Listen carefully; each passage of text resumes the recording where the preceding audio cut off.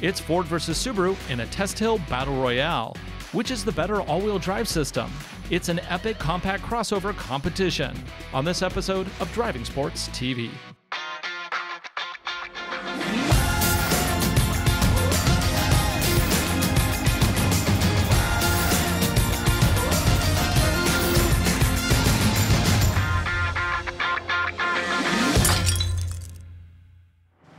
Today at the Test Hill, we have a pair of compact crossovers that are more alike than different.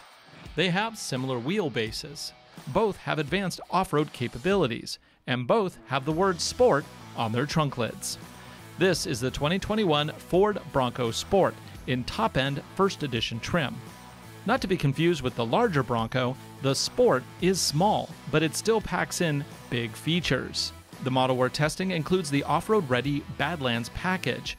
This includes Falken Wildpeak AT3W all terrain tires, a stout 2 liter EcoBoost engine, good for 250 peak horsepower, and an advanced twin clutch rear drive unit with differential lock. As you see it here, you're looking at 40,090 US dollars including destination.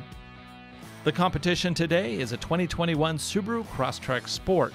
This comes with the largest engine option you can get in a Subaru Crosstrek. It's a 2.5 liter naturally aspirated Boxer 4 that puts out up to 182 horsepower. The Sport has Subaru symmetrical all wheel drive with enhanced dual function X mode. Because this is one of my personal cars, we are able to upgrade the tires to better match the Ford. Unfortunately, you cannot buy Falken Wildpeak AT3Ws in the stock Crosstrek size. Instead, we went with the more pedestrian Falken Wildpeak Trail tires. These have similar compounds, but a less aggressive tread pattern. Throwing in an extra $1,000 for the tire upgrade, the Crosstrek as you see it here is $29,655, including destination. Even including the tires, it's still $11,000 less than the Ford. Today we're going to run the gauntlet, putting each of these capable crossovers through every course on our test hill. So this first test is what we call Garter Way. This is a very simple incline with side-to-side power transfer getting us up. And this vehicle equipped with Wildpeak AT3Ws should make it pretty easily. Let's talk about vehicle setup here, shall we? Because we're not just gonna jump right into this. Let's start with goat mode completely off. I have nothing enabled and we'll see what the difference is. And away we go. This is extremely loose dirt. I don't think Ryan intended it to be that way when he built this, but in a second you'll see what's gonna start happening. The rear differential, which has torque vectoring, should push power left and right to help propel me up the hill. Oh, it's a really soft hill. Can we see power moving around outside? Maybe, okay, I think we're gonna have to lock I'm gonna lock the uh, rear differential. It hasn't been locked yet. See if there's a difference. And I'm just keeping the throttle down. Is it gonna pull us up? I think I'm gonna actually have to turn on the goat mode. Okay. So I'm gonna switch over to rock crawl. All right. No, wait, let's not do rock crawl. Let's do sand because this stuff's really soft. That's better. Yeah, so I'm gonna back up. Now, typically sand modes with these, uh, what they do is actually allow for a lot of wheel spin because you need to move your way through the sand. So let's try this again. All right. So we got take two here.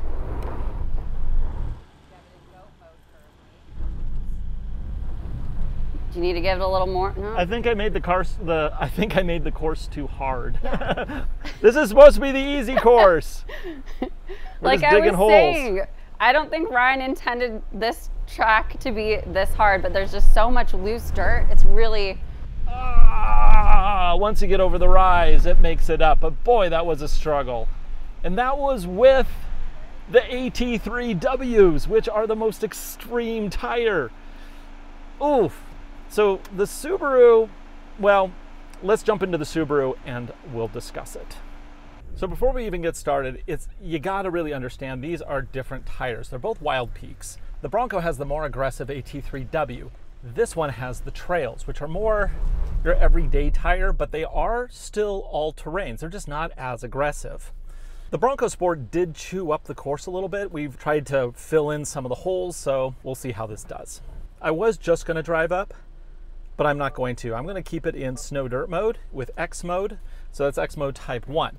What that does is it gives a more aggressive mapping in how it does brake vectoring to shift power around the system. So as I go and as wheels slip, it'll put a brake on one wheel, which then redistributes power to the other wheels. However, when there's no grip, oh, oh I just keep the throttle in. Okay, I'm just digging holes. Can I get over the rise? Ah, no. Now I have to be careful here. This is really soft, so I can easily dig a hole that's too deep, and then I'm basically going to high center or scrape the nose. So we're just gonna do with a little more speed here. And note, I have not aired down any tires yet. That is not something that we're allowed to do on manufacturer's cars. Um, I, this is my own personal car, so I could do it on this car, but uh, I want it to be fair. And this Subaru does have the exact same, or almost the same ground clearance as the Bronco Sport does. Oh, he's actually not doing too bad. He's digging in in the back. Okay, and he's, oh. I was gonna say he's made it up, but not quite yet. And it made it up. Woo! That was tough. In my mind, when I designed this course, I was thinking uh, that it would compact because of rain or mm-hmm. something like mm-hmm. that. It, it, doesn't rain here ever. Yeah. So it's basically just like silt. Uh, because of that, yeah, I'm going to give the win to the Bronco, and mm-hmm. it's mostly because of the tires. It does have more advanced off-road kit. Yeah. We're going to get more into that on the next course because now we're going to take them to the Rattler. Now the point of this one is it's a lot of rocks and they're big rocks, 4x4, 4x8s, you know, kind of, they're, they're all pretty large and we position them in a way that we're really going to test approach, breakover, departure, and articulation. I'm going to go ahead and set this into rock crawl mode because it has such a mode. Let's use it. And rock crawl will automatically lock the four-wheel drive system, which uses a clutch pack, uh, and it will also lock that rear differential. This should make it as easy as possible to go over this. And I'm really actually, the crawl ratio on this is quite nice. I am barely moving along. Now it's not a Wrangler, but it's not supposed to Have be. him straighten out. Okay, continue straight. Oh, you're good. Right there, right there. Okay, we've got over. How are we looking, Carlina? Yeah, you're fine. You have about one inch or more. More than that. You got about six inches of clearance. So far, he has no wheels off. And I'm feeling pretty confident in this. I mean, the suspension is really soaking up these rocks nicely. I'm feeling like the system is fairly confident. You do get wheel spin because that is the nature of these systems and these crossovers. It's not like, you know, in the big Bronco, you have a transfer case and that will like physically lock the front and the back. This isn't the same thing. It uses a clutch pack and it uses lots of logic.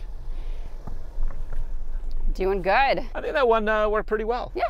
Yeah. It uh, it was easy. It was smooth. How'd the line look? It was good. I, you didn't kick up any rocks. You also didn't um, have any wheels that popped up from what I How noticed. was the wheel spinning? Was there a lot of wheel spin there or just a little bit? Only a little bit on your driver's side. Great. So the brake vectoring did a good job of reducing yeah. wheel spin because you don't want too much on rocks. Um, now the Subaru does not have a rock crawl mode. It has X mode, but it doesn't have X mode rock crawl, not a thing. Yeah. So it'll be interesting to see how mm-hmm. that deals with this tricky situation. Definitely. All right, I think you got it from here. Yeah. so the Bronco did a really good job of having a fairly decent crawl speed for not having a low range. It also did a really good job of keeping the wheels from spinning aggressively. When you start getting aggressive wheel spin, that's when you can get into trouble on rocks. Now Subaru relies on wheel spin before it clamps down and uses brake vectoring to shift power around. So I have my concerns. There is significant difference here. And this car is capable of so many things, but I don't know if this is going to be too much. For those of you who don't watch the show all the time, yes, I do own this car. It's also the car that my wife drives every day. So if I break it, I'm busted. I am going to go ahead and prep the car by putting it in snow dirt mode. I don't want deep snow because that'll give more wheel spin. I actually want less wheel spin. I kind of wish there was a rock crawl mode here so that it would really prevent the wheels from spinning. Because if we move a rock, it is possible that we could uh, break something. So the approach here, now there's no underbody protection on this car. All right, so the Subaru, I'm actually gonna hop down a little sooner because the Subaru has a front lip that hangs a little lower than the Bronco Sport. So you gotta be extra careful. I'm gonna help him line up, straighten out his line a bit, perfect. Okay, and gonna see, oh, we got some rear, oh, massive tire spin. I'm gonna move back just to make sure I'm safe. I'm gonna have to uh, use a little more momentum. So with the Subaru, unfortunately, it doesn't have a rock crawl mode. So he's struggling here a little bit, just digging in. I don't see any tire lift currently, but he's just digging himself a hole. Okay, he's now chosen a different line. Yep, this one's a little bit easier for him. Oh, he's got lift on that passenger side now, and he's just spinning, digging in. Okay, let's go into X mode type 2 and see if that improves the situation at all.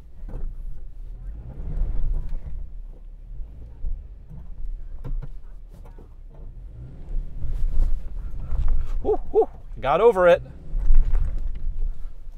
Now the next one. That wheel spin, the fact that this is based on wheel spin makes it really bad for rocks. I am not terribly comfortable doing this uh, even with the Falken Wildpeak trails, which are a little more rugged than a standard OE street tire, they are not like extreme because you can get different levels of extreme on these things. Ooh, well, we made it through, but I have to say the Bronco Sport did it much better. That was that was a little nerve-wracking. Well, the Bronco really just breezed through the track. The Subaru, not so much. Yeah, I can take a look at this, and I am just, this is a mess compared to what we built. Yeah, yeah. The Subaru just kicked things all over the place. And I do believe I have built this course to be too difficult for crossovers. This is this is going to damage some cars and I'm not comfortable with that. So yeah. this course is going to have to get redone, I think, before we start bringing more crossovers out here. We do have another test to do here though. We have the Sidewinder. Now the Sidewinder has one section that foils everything but the most competent off-road machines. Mm -hmm. So we're not gonna do that. We have a bypass because we're gonna skip that.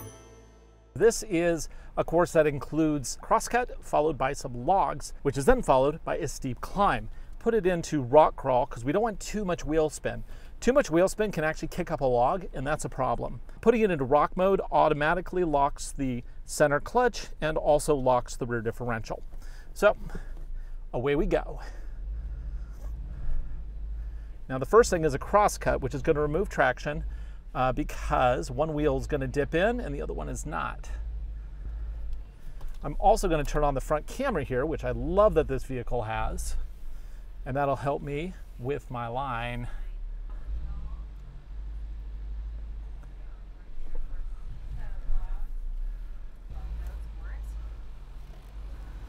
How you doing? Doing well. How about yourself? Doing good. Good, yeah. Okay, now this last log here, usually this is problematic. Again, a little wheel spin here. You can see power shuffle around, but then it gets it gets grip.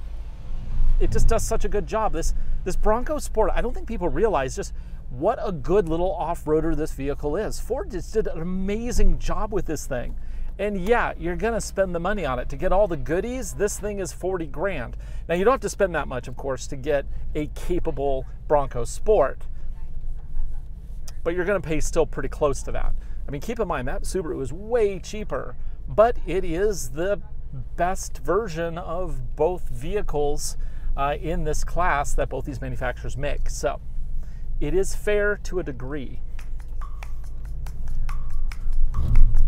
Okay, oh, and up we go. So the very first test was very much about tires. However, the next two tests really weren't. It was more about how power is distributed around the system. And the Bronco Sport here is just simply superior to the Subaru setup. Now, if you do get a more entry level Bronco Sport with the uh, all wheel drive system, you will get a system that is not quite as capable as this one. It's going to be closer to the Subaru. Uh, but we don't have one of those available, so I don't know how good or bad it is. But we will get one when we can. Uh, it might be a few months. Okay, now it's time for the Subaru Crosstrek Sport to do the same. Now it's funny that both these vehicles have basically the same ground clearance. I mean, 8.8 in the Bronco Sport when equipped with the Falcon Wild Peaks. This one has 8.7. I mean, that's pretty negligible. And you might look at both and say, well, the Bronco Sport looks like it has more ground clearance, but the fact is, it has more bits dangling down. Oh, Let's put it into uh, X mode and I'll do it X mode snow dirt. I forgot X mode always shuts off when you're not using it or you drive over a certain speed limit. Okay, so he's slowly going over that side cut. Can't see in the back, but maybe there's some wheel lift. More spinning happening.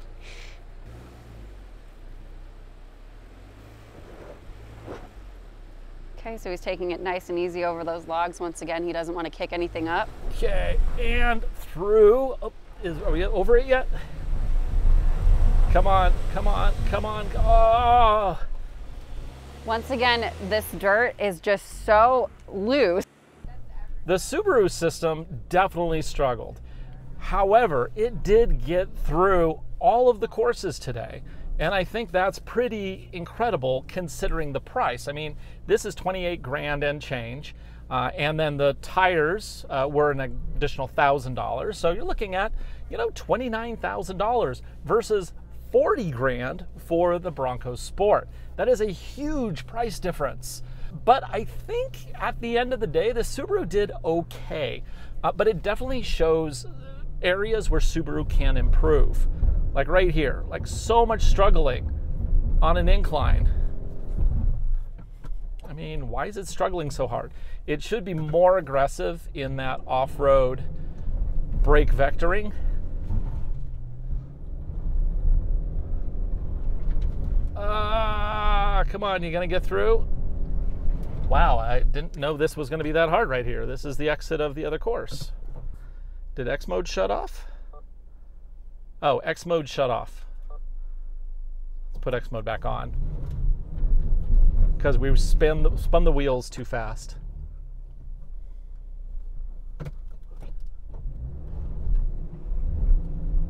Here we go. Come on. We're going to get out of it. We're going to get out of it all by ourselves because we're a big boy.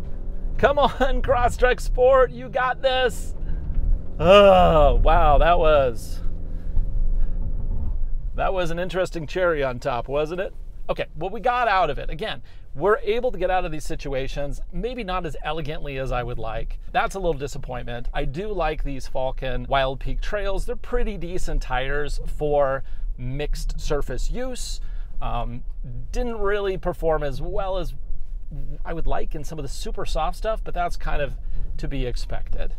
Also, you can really see the huge difference in brake vectoring versus torque vectoring in the fact that the Bronco just was really able to put that power down without making such a big show about it. So is the extra capability of the Bronco Sport worth it to you? Uh, do you want to, would you rather, I mean, 40 grand on the Bronco Sport, you could buy a 4Runner for that, which is bigger and more capable. But if you want something small, the Bronco Sport is still a pretty good choice like we mentioned before, it's a really a hard course because yeah. there's such like loose dirt. And it's a new course too, so and, it hasn't yes. settled yet. It yeah. hasn't compressed. Yeah. We have had zero rain out here. We were hoping for rain today, actually. I don't think it's rained out here for six months, so elements are still loose, uh-huh. and the loose is, is a challenge. Yeah. The first course, clearly the Bronco did better yep. because of the tires. The second course, The Rattler, we should have done it last, I think, because Mm-hmm. the changes that we made to the course, we're really testing the articulation now. I think it was a bit much for both vehicles, actually. The Bronco did good. It did better than the Crosstrek. It's a clear winner on that course, and it comes down to better crawl ratio, better ability to put power down without needing wheel spinning, Mm-hmm. uh, which is required for brake vectoring, like in the Subaru Crosstreks Sports symmetrical all-wheel drive.